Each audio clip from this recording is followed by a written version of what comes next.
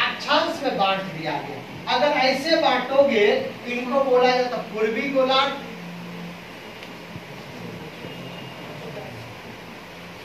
इनको बोला जाता पश्चिमी गोलार्ध क्या बोला जाता है? इनको मिटा दो गया इनको बोला जाता पश्चिमी गोलार्ध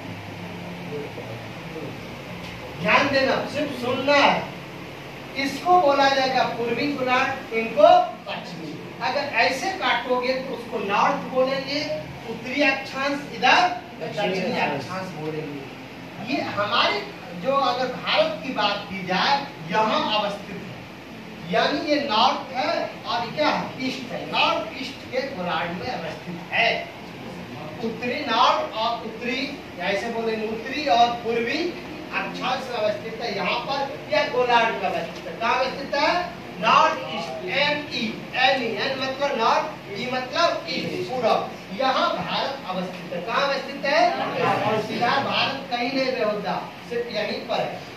दूसरी बात याद रखना है यहाँ पर हम लोग को क्या याद रखना उनको याद रखने की ज़रूरत है। तो ये चूँकि गोल है अब गोल पर देखना संभव नहीं है। नहीं है। गोल है तो कैसे देखोगे? कोई गोल अगर ऐसा होगा कि इधर से दिखेगा उधर दिखेगा।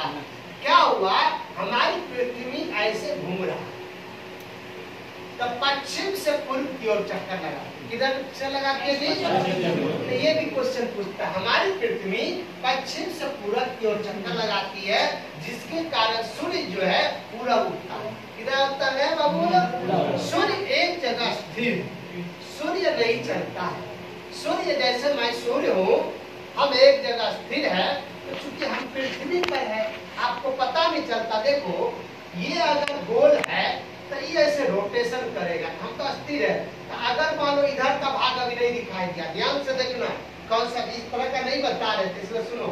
ये अगर गोल आपका फुटबॉल आगे में आ गया, इतना बड़ा, पूजा उजा में देखा होगा, इतना गोला रहता है तो सामने में दिखाई देता है।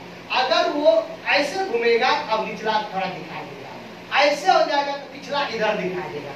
सूर्य क्या रोशनी पड़ा इधर दिन हुआ, उधर क्या हुआ? रात हो गया। इसी तरह ये पृथ्वी क्या घूमते रहती है? तो पृथ्वी कैसे चक्कर